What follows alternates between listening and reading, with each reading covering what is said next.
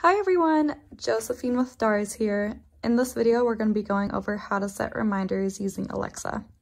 So I have my Echo Show here. It's the 10 inch one. You can see my hand in comparison. It's nice and large, has a great big display. So it's really simple to set reminders. We're just going to say, Alexa, set a reminder for 5 p.m. to start making dinner. Okay, I'll remind you at 5 p.m. And if we want to do another one, we can say, Alexa, set a reminder for 8 p.m. to water my plants. Okay, I'll remind you at 8 p.m. And she'll have that there, and she will keep this up um, anytime you walk by it or anything like that. So this is really helpful. And then if you want to check off something too, you can say, Alexa, cancel my reminder to start making dinner. Start making dinner today at 5 p.m. Cancel.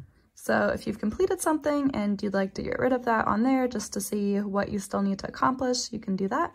And yeah, it's really simple. So I hope that helps. Thanks so much for watching. Bye.